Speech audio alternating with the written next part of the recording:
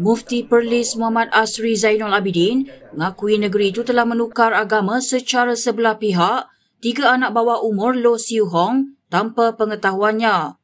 Menurutnya, bapa mereka telah membawa anak-anak itu untuk ditukarkan agama di Jabatan Agama Perlis pada Julai 2020 dan mendakwa tidak tahu di mana ibu mereka berada. Memang anak dia ketika itu bawah umur. Tetapi oleh kerana ditanya dia mana mak dia, dia kata mak dia tak tahu ke mana, dia, dia setuju. Dia nak minta anak dia masuk Islam. Jabatan Agama, uh, bahagian pendaftaran ma'alaf, daftarkan dia sebagai orang Islam.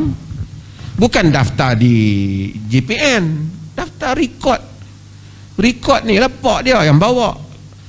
Tak selidik lah nak mak dia mana dah. Pak dia kata mak dia tak tahu pas mana lah kita dia dia masuk Islam. Dalam video yang dimuat naik di media sosialnya, Asri turut berkongsi mengenai pertemuannya dengan anak perempuan Lo dan menjelaskan mereka bertegas untuk masuk Islam tanpa sebarang paksaan. Dalam pada itu kata Asri, tiada masalah yang timbul sekiranya anak-anak tersebut ingin kembali ke pangkuan ibu mereka, namun menurut Asri mereka enggan berbuat demikian. Tapi masalah dia, anak-anak tu tak mau. Dia kita bukan nak bertahan bukan kerana bidang kuasa kita tapi dia bagi tahu saya tolong bertahan depa depa nak kami nak Islam.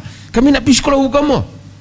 Mengulas lanjut isu tersebut Asri mempersoalkan tindakan timbalan Ketua Menteri Dua Pulau Pinang P. Ramasamy yang mengeluarkan kenyataan berunsurkan isu perkauman dan agama dengan mendakwa kanak-kanak tersebut diculik dan dipaksa menukar agama.